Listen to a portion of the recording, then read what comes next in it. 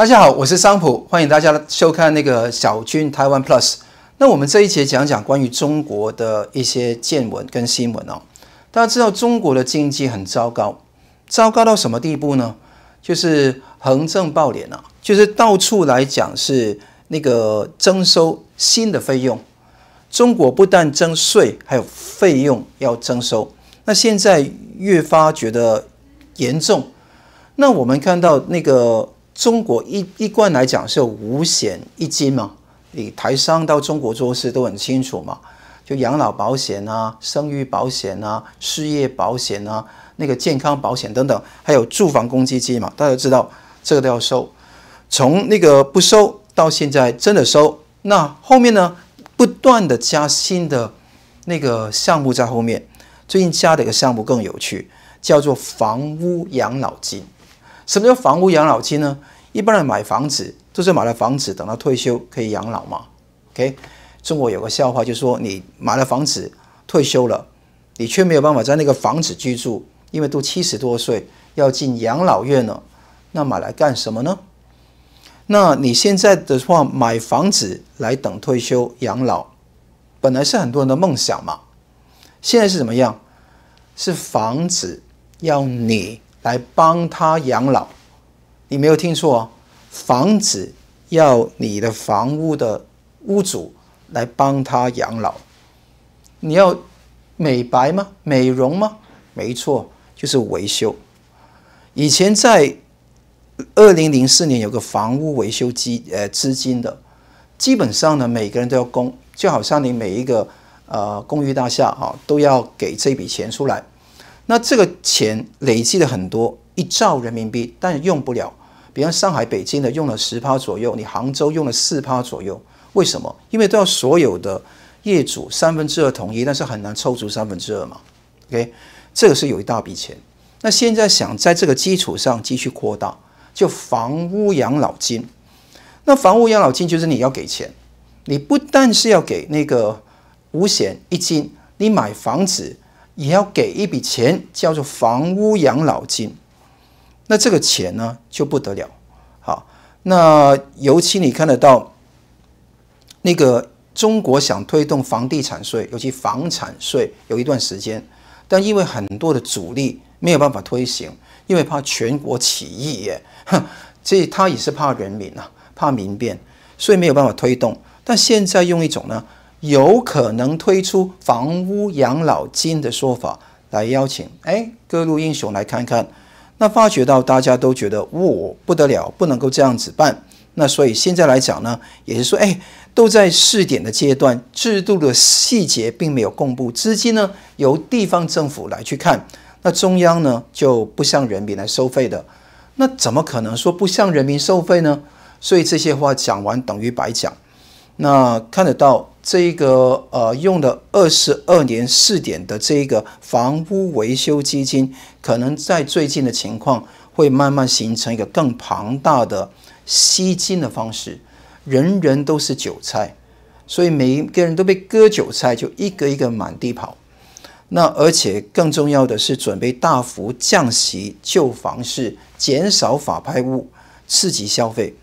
那全国有三十八兆人民币的房贷的总额，如果每户贷款一百万，可以帮助三千八百万户的家庭减少债务负担。那现在呢，他希望把房贷的那个利率从四到五趴降到三趴，鼓励大家来去买房子，而且有更多的钱去消费，所以促进内销，促进那个内循环。你觉得有用吗？没有用啊，呃，我们看到很多经济的数据哈，跟实际的状况都看得到，中国很多房子都是没有办法持续的那个增长，很多都是摆在那个地方，没有人住，没有人租。香港如是，那中国也是如是，这个情况非常严重。那而且他希望政府希望允许房贷去转银行去贷款，而且重新谈判利率。原先是四到五趴，现在谈三趴了，对你有利，可以释出部分的消费力，可以去消费。但基本上，人有钱的时候，中国人有钱是存起来呀，藏起来呀，不要存，存到银行里面你都吃掉，可能找家里面有个地方藏起来呀。喂，中国现在很多城市哦，一个人一天只能够提款两万块，最多人民币。那两万块人民币，有些地方就要讲明你的原因是什么，讲到要银行的领导，甚至是那个政府部门批准才给你领取，这个是基基本上等于不可能。提款每一天都有上限，数字人民币也大行其道。中国正式进入一个数位集权的监控时代，是比那个那个我们看到 George Orwell 欧威尔的那个一九八四的那一种老大哥在看着你的情况更严峻。我还记得我上一次，因为最后一次到中国，应该是在二零一七年的时候到厦门。那个时候呢，你到酒店里面去换钱，拿台币或者港币要换成人民币，不给你换，你要到银行去。银行街跑的每一家银行去换，基本上都不给你换。他说你在银行没有户头，不给你换钱。好，没办法，上车说我有钱，司机大哥可不可以载我去什么地方？没有办法，你没有用微信支付，你没有支付宝，没有办法搭这一种车。那等于整个世界的经济都要依赖于那一种中央公中共中央控制的整个那个。电讯系统，你才能够去消费，否则你根本是可以饿死的，可以足不出户，连买菜都有问困难的。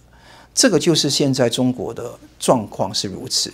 不要以为中国高铁盖了很多很进步啊，实际上是个严密的操控系统。高铁亏损连连，它是类似以前的那种盖万里长城，现在又说要盖大运河一样。现在习近平要提出嘛，要那个中国人不止的要中国脸，还是要中国心、中国情。那恶心的很厉害，意思是说所有的东西都要万万佛归宗哈，所以万佛朝宗，全部的中国人所有的心跟念都要向着习近平跟共产党来转，这个就是现在的问题。好。其他的经济现象还有什么的问题？第一个，中国的电动车是会爆炸的啊！它起火爆炸，尤其那个车用的电池大厂宁德时代的董事长曾毓群也是非常清楚的说，当前中国大部分的新能源汽车的电池安全系数远远不足，应该要百万分之一的机会不安全。很多都万分之一或者千分之一的机会不安全，而且一个汽车有 N 个电池，那你千分之一可能会随着电池数目就乘上电池数目，你看到是多么的不安全了。所以现在看得到，全中国大概有两万哎两千五百万部以上的电动车，那全部的电池数目数十亿来算，安全系数是相当低的，安全风险。他说是可想而知，这是宁德时代的董事长曾毓群讲的哦。他说希望业界把竞争先放一边，把消费者切身利益、安全放在首位，共同提高安全效率，建立绝对的安全标准红线。那电池安全是复杂的系统工程，要大家好好做，一个环一个环节都不能错。讲完之后，好像他非常厉害哦，安全第一哦。中国共产党的所有干部或者董事长讲的话都是讲完等于做完，那东西有没有跟进呢？有没有真的新的发展去那个改善呢？没有，甚至他这个宁德时代还去夸祖到电动飞机的地方更有趣，一个飞机飞上去，砰爆炸不得了，而且电动车是比一般的汽车重重很多倍的。所以你看，美国川普那个在总统竞选的时候都讲过了。那如果说要全部改成电动车，那个环保分子这样做，你全国的道路要重新来修，全国要加盖多少个加充电站，而且每一个车都比以前重两三倍，根本没有办法那个适应整个那个节能的生活。而且更重要的是，不可能所有车都是电动车的。我觉得应该多元的发展，要有燃油的车，也要有那个，比方说，呃，电瓶车、天然气的车，也会有那个电动车。我觉得应该多元的发展，不应该说，哎，要扫除其他的那个东西，剩下最尖端的科技，那个是人造的世界，是非常可怕的。那当然，除了这个以外，华为的问界 M 五的手机也是充电的时候有起火，好，所以这种电动的产品，重点是那个电池，电池只要一个地方地方偷工减料，就会爆炸。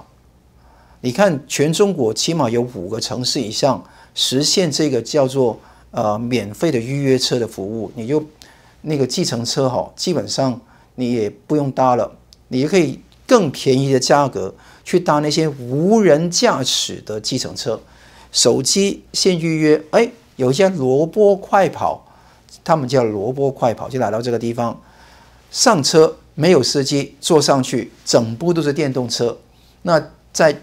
不同的地方来去去呃那个呃载你去不同地方，有时候到了十字路口，因为两部萝卜快跑遇到了，他们就各不相让，就冻在那个十字路口堵塞交通，因为他们都笨笨嘛，就撒萝卜嘛，就是中国常常说的那种情况嘛。同时，如果这个萝卜快跑是电动车的话，可能电池有问题，如果电池有问题，可能会爆炸的。所以是非常的危险的一回事，所以我觉得各位台湾的朋友们啊，真的远离这个险地啊。另外一个叫中国辉达，中国辉达是一个俗称啊，它的正式名称叫向地仙啊，这个是图形处理器的企业，就 GPU 的企业，这个被号称为一个半导体的独角兽，最后倒闭了。曾经高峰的时候，一百五十亿的人民币。他是美中科技战的牺牲者，因为他的董事长叫做那个唐志敏啊，他是中科院的一个博士班导师，那他就成立了这一家向地仙，好，那他就是八月三十号召开会议，正式宣布公司解散，解散也遣遣散四百多名员工，他们立即失业。那这一个市值超过一百五十亿的人民币公司，为什么会这样子呢？因为股东跟他有借款，最后还不了，有对赌协议，最后呢，公司履行不了契约，股东起诉，公司的账户被冻结，逼得要解散，拖欠的薪资两个月，很多的人没有薪水，也没有办法告，因为这些公司根本没有钱。那而且更重要的是，这一家公司做什么的？高效能通用或专用的处理器。晶片设计跟研发，它已经研发得到天军一号、天军二号，但是由于它的效能、它的那个稳定度跟那个经济的吸引力，及不上其他产品，那结果呢，就是也没有办法去卖，结果这个公司倒闭。这个只是一叶知秋啊，就知道说所有这些所谓民企，某种某种程度上都是党在控制的。他们做这个科技战的时候，先牺牲掉这些下面这些毛边的那些企业，中间的那些中心的那个集团，对不对？他们还是保着华为这种集团的保着，所以你看到没有那种周边产业，周边产业都是韭菜，都是人矿，最后被割光光。还有中国现在失业严重，而且失业严重。欠薪也是非常严重。中国官方哈现在就罕见的承认积欠网格员薪水。网格员是什么样的全称？网格管理员。中国有一种观念是把全中国把个地图摊出来，把每一个地方很仔细哦放大镜来看哦，划分成一个一个网格。比方这个房间是一个网格，或者说。这个社区是一个网格，都是一个一格一格来管理。网格一、网格二，每个编号，每一格都有一堆的网格员来负责管理这个或者情报收集这个网格里面的大小事。以前你到北京去旅游，你觉得啊，看万里长城啊，看天坛啊，到上海去看外滩啊，就很爽。你根本没有办法了解中国怎么去管制一个城市的。他把一个城市一格一格管理，每一格有什么样的突发状况，都要有一个 SOP 怎么去应付的。比方说，有人去那个呼口号，说要打倒习近平，要多少秒钟之内，多少分钟之内，一定要有那个警察在那边镇压，是网格的情报收集能力。那你如果说用低成本的方式装那个天眼嘛？大数据嘛，比较容易。另外还是需要人手来处理。比方说，人的力量可以主动的发放一些假讯息，跟一些红色的宣传物体，能够让这个网格里面的人都泡在这种红色的宣传的谎言中。然后，如果他们要反抗，有暴力的镇压，这就网格管理员提供情报的第一作用，之后公安、国安再去配合。这种情况是非常严重的，但你看到网格管理员也断炊了，也是被拖欠薪水了，拖欠多久？半半年了，有人说四个月，或有人说六个月，但是拖欠非常久了。那你拖欠非常久，你能不干吗？也不能不干。你不干的话，以后就请你离开。所以都在那边磨啊。大家不要不要以为说这个网格管理员拖欠薪水，等于说中共哈对于台湾的啊那个文攻武赫、心理战、舆论战、法律战会减少？不会，他的福建部队、福州部队还是发挥非常重要作用。战略支援部队虽然解散，它分成不同的那一种系统，继续对中继续台台台湾的叫硬的更硬，软的更软去处理。很多舆论的情况，不要因为中天退出了主流媒体，它还在往上放啊！不要以为说那个那个很多红蓝的联盟所产生的媒体没有发挥作用嘛？那我们先前都看得到，有一个党的人进入到某家电视台，在那边蹲点来看节目嘛，等等的情况，你都都知道是非常严重的一件事情啊！所以这个。网格管理员呢，是在福建莆田市涵江区的政府拖欠全区的网格管理员半年薪水。那官方的报道出来才是非常奇怪。那你问我说，为什么中共的党媒愿意报道这个事情，是有原因的。其实这些报道，他们矛头是不是指向中央？啊，这个是。中国的那种拐着做事情的方法，指向市省政府，希望市政府、省政府出头，要求这个区的把这钱能够进来。你只要喊，就有饼干吃嘛，就有糖果吃嘛。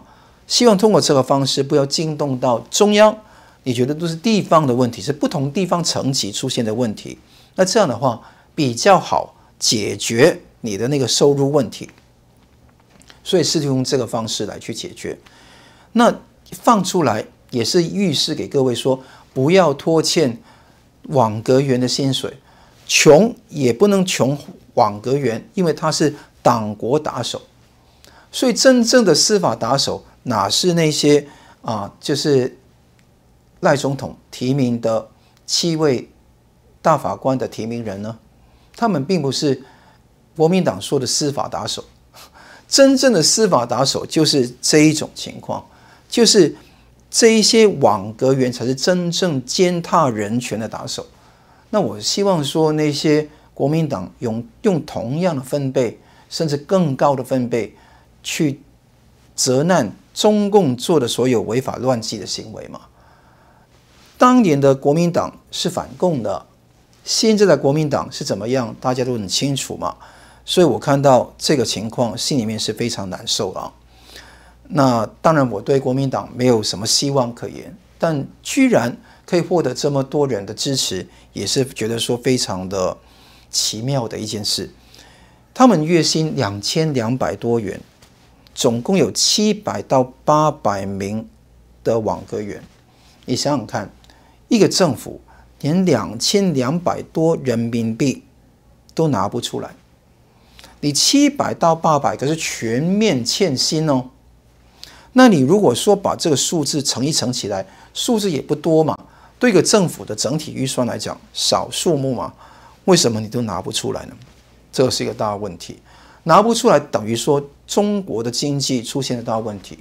先前传说五分之一的公务员都拿不出薪水，大学生一毕业就失业，公布的是二十到三十趴，实际上是可能过半。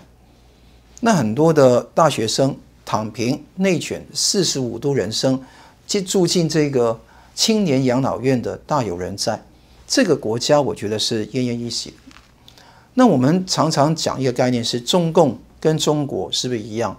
我在这里很简单讲一次。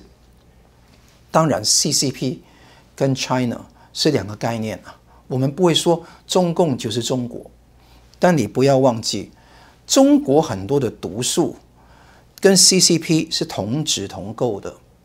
中国的毒素包括什么？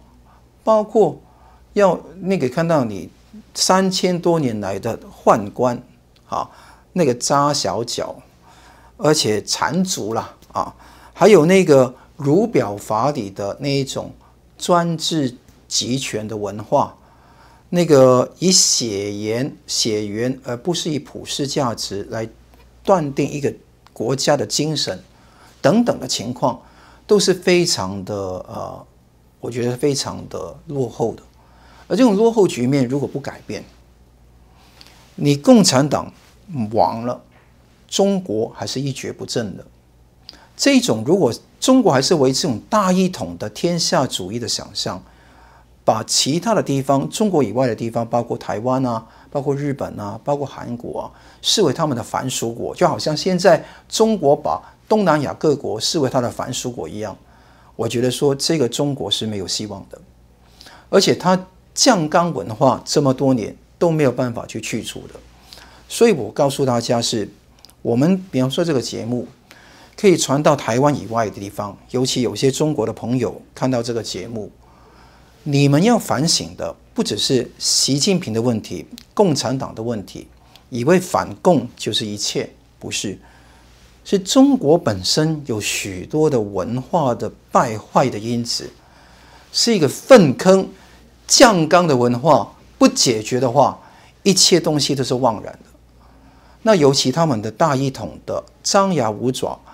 以愚蠢为能，以贪腐为棒这种思想，我觉得这个才是最可怕的地方。每一次讲这个地方啊，心里面既觉得说有嘲讽的意味，但心里面是非常伤心的，因为这个是人类的一种堕落。那如果说台湾即便有一个非常主权清晰的跟中国界分开来的台湾，而当我们面对的强秦。还是刚刚说的如此。刚刚说经济有这么多的问题，道德文化有这么大的腐败啊！比方说刚刚讲的宁德时代讲的那个所谓的电池会爆炸的这个问题，你不见得会在日本发生吗？在美国发生吗？不会。为什么中国的电动车会爆炸？这个不是用金钱。经济来去判断的一件事物哦，这个完全是一个跟道德、制度、伦理跟你的公义、正义哈基本的一个追求有不一样的问题哦。这种堕落是非常的严重。只要去过中国，你就知道说，并不要幻想一个美好的，好像金庸武侠小说般的。古代的美好的中国没有，它是一个非常残酷的地方。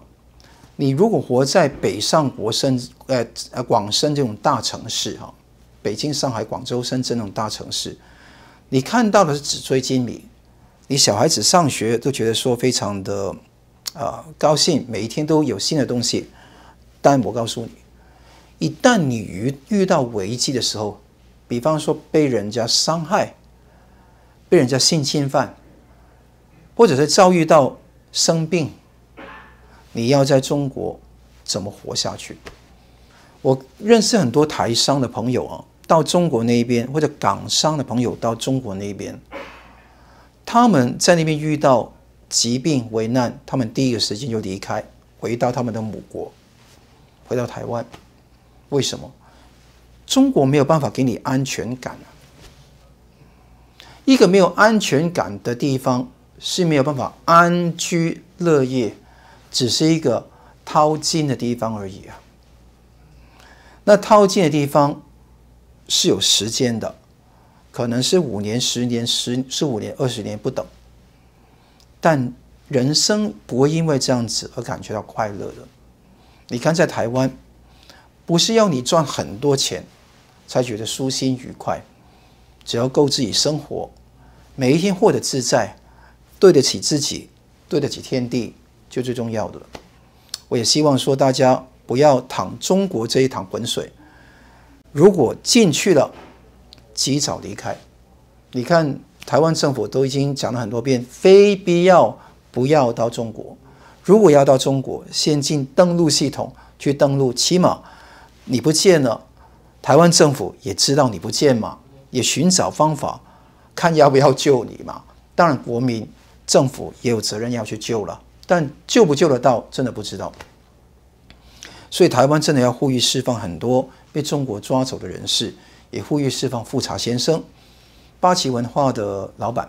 那现在你看得到，他完全都已经失踪了一段非常长的时间。那我希望大家关注这种情况，经济。中国已经到了一种悬崖的边缘，就好像汉朝从高祖文景之治到那个汉武帝之后就开始滑落了。这个滑坡嘣一声的悬崖式的崩断，还是说会缓慢的降落？那现在看起来是缓慢的降落，但缓慢得来有种提速的感觉，尤其习近平的志向。给你一种更清晰的印象，是不断增加它的速度。那这个增加速度会到什么为止？到习近平死为止。那哪个时候死，天晓得。所以，呃，大家在这个时候真的要了解，台湾生存之道，不是要当中美双方的这个第三者，一个杠杆那个角色。没有，台湾没有，你不要。把台湾想象成为非常有力量，可以像两在两强在中间可以承载得起，而且互相平衡的角色没有，也不要做这种角色。台湾就站稳在民主世界的角色，跟美国、日本、跟很多民主自由的国家站在一起，而且我们本身也不是要完全依赖别人的澳元。要把自己的国防、民防、新防建立起来，否则对于中国的威胁、文攻武赫、经济胁迫是没有抗议的能力的。那我们重复讲这个因素、这个讯息，是希望大家都能够有深刻的体会，尤其从香港的教训能够学习过来。好，今天节目时间差不多，我们下次再会。万家香，全国第一家采用太阳能发电的大型酿造厂，洁净能源，纯净酿造，产品添加物少，用得安心、安全、卫生，符合欧美潮流，通过洁净标章评鉴。万家香洁净标章系列，一家烤肉万家香。